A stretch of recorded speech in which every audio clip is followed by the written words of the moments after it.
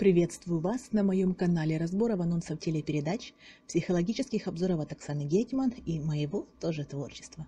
Сейчас я вам расскажу, что нас ждет в следующей серии проекта «Пацанки», а также расскажу, кто будет в финале. А вы мне напишите в комментариях, какая пацанка вам нравится больше всего, за кого вы болеете, кто, по вашему мнению, достоин победы. Всплыли новые факты.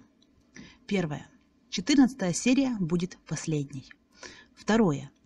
Оказывается, в финале, кроме бала, еще будет поездка за границу. По крайней мере, должна была быть. Надеюсь, не отменилась связи с карантином.